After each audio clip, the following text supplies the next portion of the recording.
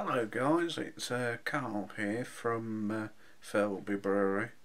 I know it's been two weeks since I last posted to you when I made my uh, summer fruit wine. But recently I've just taken delivery of some items so I can get into all grain brewing. I thought I'd start off in the study and show you where my wine's at.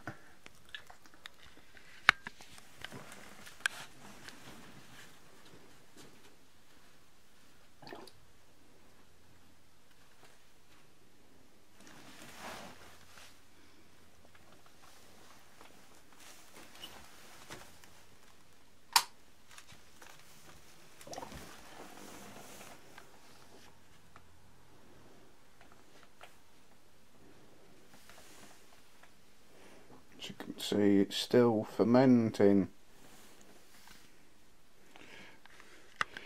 So I'll go through bungalow now and uh, I'll show you my new equipment.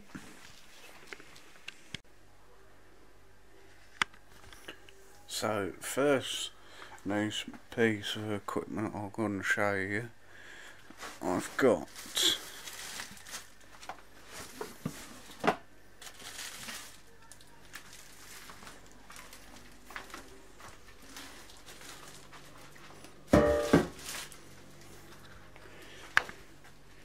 two of them.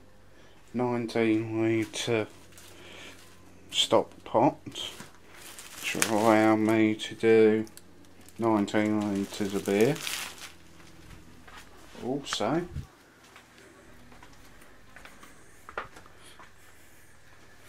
to help me measure the temperature of my grains and that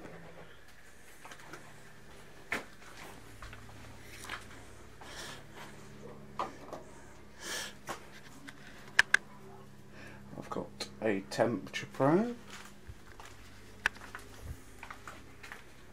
and I'm also brought